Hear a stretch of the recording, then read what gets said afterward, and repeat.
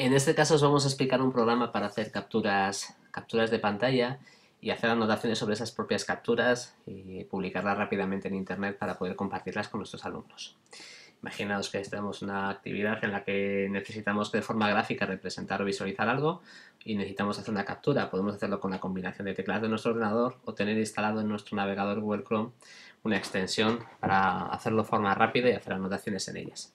Este, el programa que os recomendamos es Lightout, entonces simplemente tenéis que ir a, la, tienda de, Google Store, de, Google, eh, la, la eh, Chrome Web Store y en el buscador poner Lightshot, ¿vale? Es una extensión, eh, al dar a buscar os va a aparecer que podéis instalar la extensión, añadís la, extensión, a, vuestro navegador de Google y posteriormente aparecerá que ya le tenéis añadido y en la parte superior, entre las extensiones, aparecerá esta.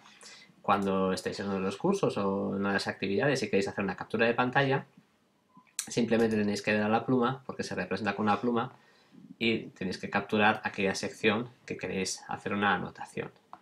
De tal forma que capturáis esta, esta, eh, esta, sección de la página en la que queréis hacer una anotación y os aparecerán esta serie de, de pequeños iconos. ¿vale? Imaginaos, voy a cambiar el color para que sea mucho más visual. Voy a ir hacia unos tonos más rojos. Hacia más rojos y voy a aplicar.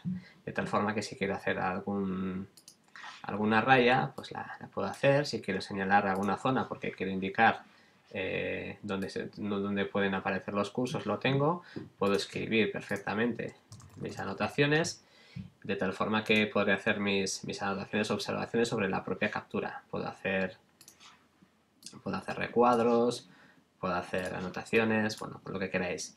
Y una vez que la tengáis, la podréis descargar en vuestro ordenador para compartirla.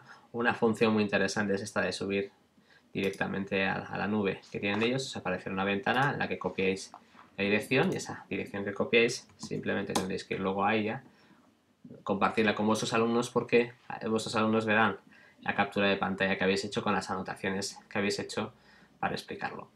O si queréis eh, una serie de capturas eh, que creo que queréis introducir en un mensaje o en el foro, pues simplemente tendréis que descargar esas, descargar esas imágenes.